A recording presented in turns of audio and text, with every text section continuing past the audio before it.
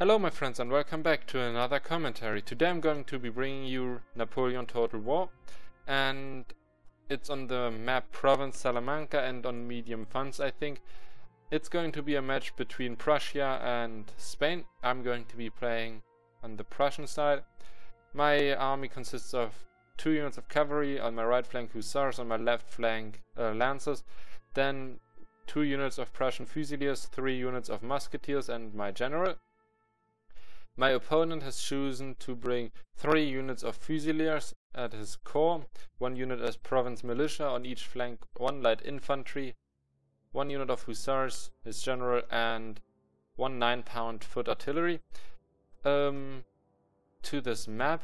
I really like this map because it has some variety to all the other map maps in the Napoleon Total War map pool because it's not a city battle nor is uh, uh, it is a field battle like all the other maps. It's both because you, if you choose to position yourself over here or over here, you have a field battle, but you always have the strategic advantage of, or the strategic possibilities of a city if you just position your troops in here. So I really really like that because it allows for some um, awesome street fights here in the middle while the cavalry can come around the flanks and clean up artillery or such things. And yeah, that is one of the things I don't like about neither Napoleon nor Empire, and I think it's a big mistake. That artillery is or has unlimited ammo, and now we're going to see a nice shot of this cannons here. Yeah, you see, he starts shooting and kills immediately two of his men, so I really like that. Let's go normal now. But yeah, the rules for this game were no no more than two cavalry units and not more than one artillery units because I didn't want him to just position himself here, camp and then just shoot me, shoot me to pieces. So he respected that because I already had it like a set like no artillery or something like this. Sorry about that, it's in German, I'm going to change that and it just said that he's going to, or that he took that house. And as I was saying, it already happened to me that my opponent, I said no artillery and he brought like, I don't know, 6-7 units of it, so that was quite annoying. And yeah, here as you can see I position myself in the streets. I want to do a flanking maneuver here. My musketeers there, my fusiliers here, so when he comes I can do some cross-firing.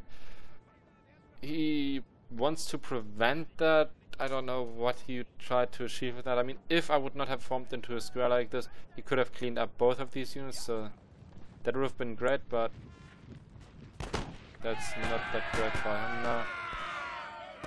I did lose quite a substantial amount of units already. I mean, he already tried 13 men. And I killed 15, or actually 13 of his. Two got killed by the cannons. But yeah, his cavalry is gone now. I lost 15 men here and it, the two men lost here are inflicted by the cannons. I'm moving with my cavalry. I had on each side one unit and it's on each flank here one unit of fusiliers and then followed by musketeers. Only here in the center it's like only musketeers because I can't use the range advantage here as the houses are very close and if he comes in here I can just shoot him straight away. But he just uh, chooses to stand here and not go anywhere. And I don't really know why he went with two units into this building here. I mean his Fusiliers have on the field the, the range advantage as well as accuracy advantage over my musketeers at least. Um, I think I have the higher reload speed, but I'm not sure about that. And I'm I'm superior in morale and close combat. But this is why I didn't understand really why two units of in this. He could have put the province uh, the province militia in there because this would have totally prevented me from flanking him with cavalry or such because they would could have constantly shot at me while I couldn't do anything against them.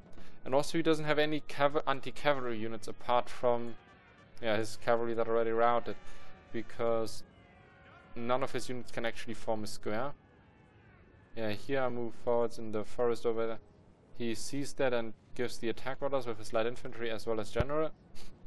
Here I move forwards and he's using this light infantry to attack them.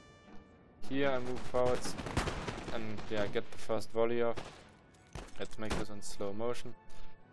Here I decided to engage because it's only province militia. They, I have higher range and higher accuracy, so I can take them out. But it's going to be accompanied by Fusiliers, but they're behind him, meaning if they start shooting, they shoot their own men in the back, meaning a better fight for me. And yeah, here I wasn't really sure what to do. Now I decide to attack his general because if he could, if he would have continued attacking me, that would have been great for me. But unfortunately, not. Now his light infantry starts firing. I lose five men, so not the worst, but could have been much better if I would have been more careful. Uh, here you can see, yeah, my guys are fleeing. They got a volley of the light infantry here. Then they got, yeah, the cannons faced them. They got a cannonball right through it.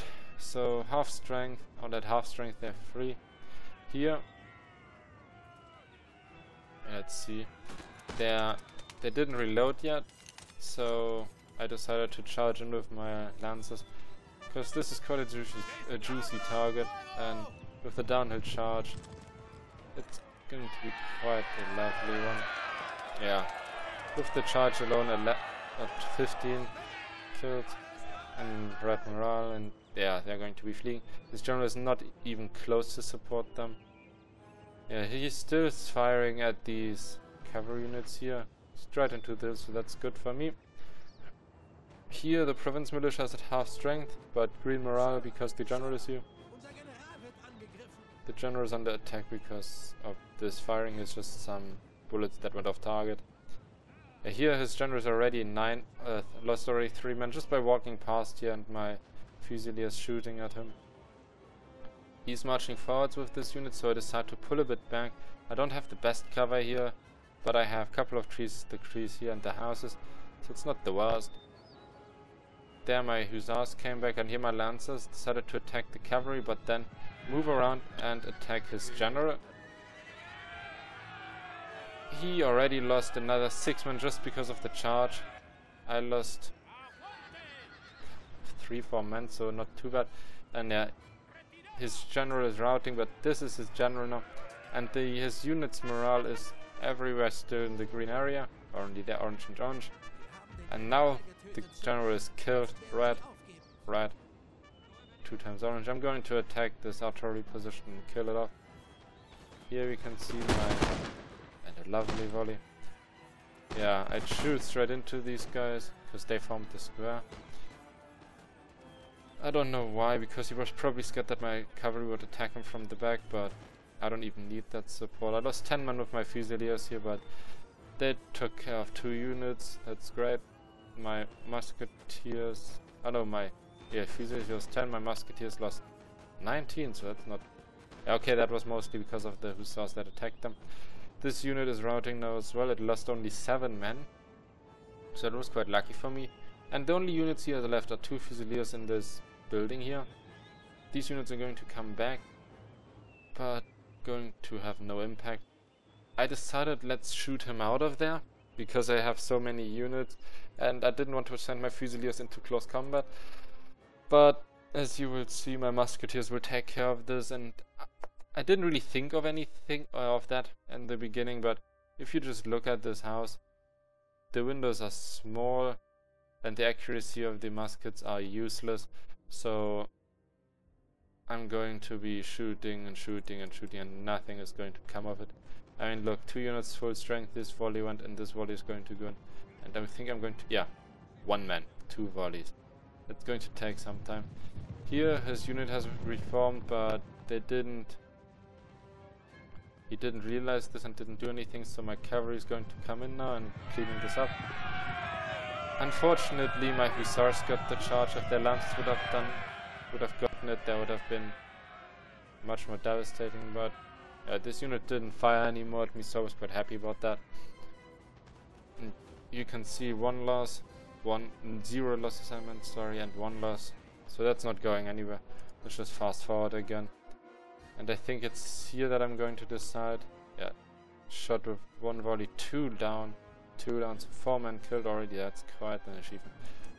And now decide, guys, just just run into that and kill them off, because this is not going anywhere. Here you can see now. entering and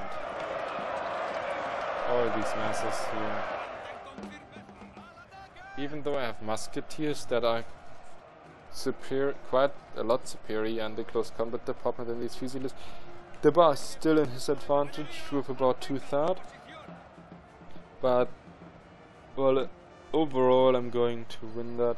And now I have two units in here. And the only thing this bar is representing, I think at the moment, is the numerical advantage, which is nearly even at the moment. But now I'm winning because I, keep, I uh, get constantly killed on his units. It's 15 men killed there, 18 killed there, so not too bad. I just I switch off friendly, uh, not friendly fire. I want to stop the friendly fire of my units, so I will give them the order to stop shooting. And let's see if we can get in here and see maybe some fights. It's a bit loud about that here sound, but sorry about that. But as you can see, my musketeers just go in kill these guys and here you can see one unit is killed. And they're just oh no it's not killed yet sorry. I don't have a fuck clue what they're doing there on surface but yep the bar's in my favor now by 75% so good news. Yeah one unit flees now and the other one is 60 men left but it's still fleeing but getting rapidly killed. So yeah, I got this house now, and this means the battle is won. I also like this about Napoleon Total because it gives you the small notifications and also you can zoom where where something happened. Let's just have a quick look here. He had the numerical advantage just for the simple fact I chose one cavalry unit while he got the national militia. I lost 128 and but and he only killed 112 meaning I got like did 16 friendly fire kills. I killed 300 he lost 337 meaning he did 20 friendly fire kills. This is what I meant on this position with the fusiliers behind the national militia. They just shot them in the back. And yeah let's have a look. Yeah here the fusiliers that were probably the units standing here they got the 90 kills. And then all my other units did okay. I mean, I didn't lose any. So quite happy about that. And I hope you liked this video. If you want to play with me from time to time, just uh, enter the Steam group, link in the description, or just add me up. I would love to play with you guys from time to time, so hope you liked this video and see you later.